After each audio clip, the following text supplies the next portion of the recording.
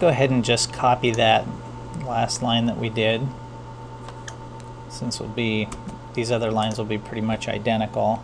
Um, I'm to just paste those like that. Uh, the only things we're going to change on these are for the for the second line we'll go ahead and offset that by a couple of pixels uh, sending it to the right a little more and we'll also bump it down a couple of pixels so that should create a nice little offset there so this should be flashing in a different uh, color pattern actually it might be the same since these have already been processed these variables uh, it just sort of broadens broadens it out a little bit. I don't think there's anything else I really want to change on that. Um, for our final one, I'm going to set uh, set the, these values to be kind of right in between these last ones. So I should draw in this order. I'll draw the first flashing layer, draw the second flashing layer, and then draw the third. And so if you should be able to kind of see what we're doing here. I'm going to be setting this dark layer directly in the center of these other layers. So it should be sort of a black text um, with uh, the XNA logo flashing around it. Um, so we get that right in between these two. And uh, this time we won't be using our RGB values, we're going to just set these to a very low uh, value to make it very dark. So it's pretty much black. Let's have a look at that. Awesome. Looks pretty sweet. So now to give it that uh, sort of retro feel, uh, you can keep it this way if you want, but I'm going to show you how to kind of sharpen these edges a bit.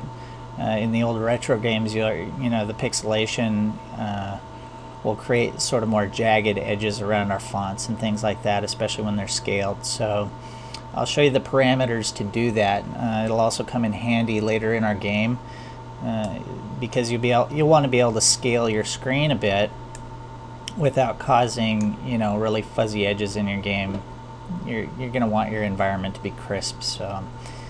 Uh, that will be doable.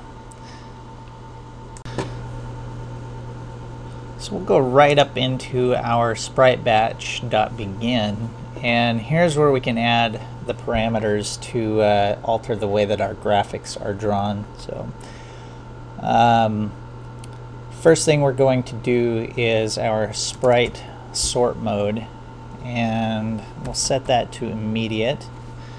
And you can kind of read these, uh, you know, I don't want to have to explain every single parameter here, but uh, you can read them. This begins a sprite batch operation using a specified sort and blend state uh, object and default state objects. Uh, what does that mean? Not entirely certain. You can always uh, go out to the MSDN and check it out. So, uh, blend state is going to be Let's see.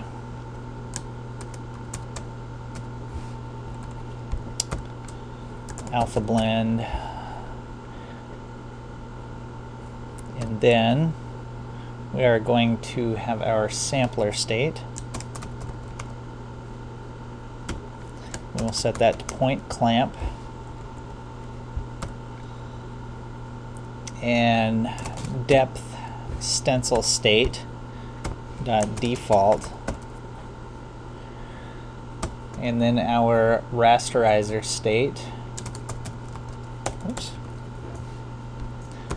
dot cull none and what we should see here is a, a dramatic change in the way that our uh, our text is drawn and really anything that we draw so as you can see our text is now a lot more crisp after having scaled it. Definitely not perfect. You'll still see some fuzziness in between, but it's not nearly as uh, fuzzy as it was before. And it kind of gives our uh, fonts, you know, our overlay here kind of a nice crisp outline. Uh, it's a really nifty effect, I think. pretty nice for a very simple title screen. Uh, you, again, you can put as much work into this as you want, or you could just, you know, simply use a large sprite or something as your background. There's really any number of things that you could do for this. Uh, the reason I left this space down here is because in our next video we will be creating our first menu. So that will be our main game menu to start games. Uh, usually there's an options or things like that at the beginning of your game. So uh, I guess that concludes this video. I will catch you on the next one. Bye-bye.